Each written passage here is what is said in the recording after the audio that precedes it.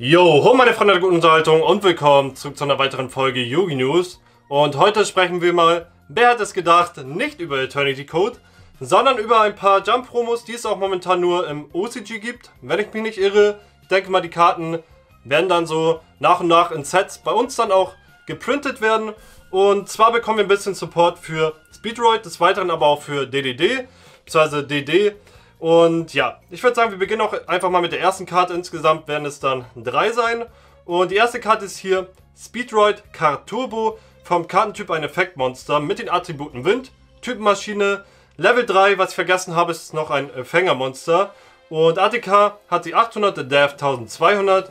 Jeder der Effekte ist auch hier once per turn. Beim ersten Effekt, falls du ein Windmonster kontrollierst, du kannst diese Karte von deiner Hand spezial beschwören. Aber für den Rest dieses Spielzuges kannst du keine Monstereffekte mehr aktivieren, außer den von Windmonstern. Da beim zweiten Effekt, du kannst diese Karte und ein Speedroid-Monster von deinem Friedhof verbannen. Windmonster, die du kontrollierst, erhalten 800 ATK bis zum Ende dieses Spielzuges. Und das ist auf jeden Fall schon mal cooler Support für eigentlich jedes Synchro-Deck, da es ja mehr oder weniger generisch ist, solange man halt ein Windmonster spielt. Und natürlich auch Support für das eigene Thema, also halt für die Speedroids. Des Weiteren eventuell auch spielbar in Wespen, da die auch halt Synchro spielen und halt Windmonster. Ob das Ganze eventuell kombinierbar ist, muss man mal schauen. Und dann kommen wir zum zweiten Monster und zwar Speedroid Block and Roll. Und ich finde die vom Artwork her, Leute, die ist echt gelungen. Feiere ich mega. Und vom Kartentyp haben wir ein Effektmonster, Attributen Wind, Typen Maschine, Level 4, ATK 1000 und Death 1800. Jeder Effekt ist auch Once per Turn, hat allerdings aber auch nur einen. Und falls die Karte als Material für eine Synchro-Beschwörung auf den Friedhof gelegt wird, du kannst ein Speedroid-Token von Typ Maschine, Attributen Wind und ATK 0, Death 0 als Spezialbeschwörung beschwören. Die Stufe des Tokens wird zum Originallevel des Synchro-Monsters, das diese Karte als Material verwendet hat. Genau wie bei der ersten Karte ist es halt auch cooler Support halt für Synchro-Decks. Des Weiteren eventuell auch Investment mit einbaubar und vom Artwork her, wie bereits erwähnt, finde ich die echt mega gelungen. Und halt auch echt guter Support halt im Allgemeinen für die Speedroids. Ich finde das hier mit den Token, der sich dann noch dazu specialt, echt sehr gut. Und ich denke mal, dass man dann halt, ja, noch weiter in die Synchro-Plays reingehen kann.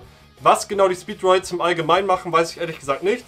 Weil ich mich mit dem Thema so noch nicht wirklich auseinandergesetzt habe. Ich glaube, die kamen auch in dem Display bzw. Set Highspeed Raiders raus, wenn ich mich nicht irre. Das war auch übrigens ein Set, was ich das, ja sag ich mal, letztes Mal geöffnet habe, als ich aufgehört habe zu spielen. Und dann kam, glaube ich, beziehungsweise davor kam Clash of Rebellions. Irgendwie so war das. Auf jeden Fall war das die Zeit, wo ich aufgehört habe. Und da kam halt die Speedroid raus. Und schreibt einfach mal eure Meinung zu den Karten in die Kommentare.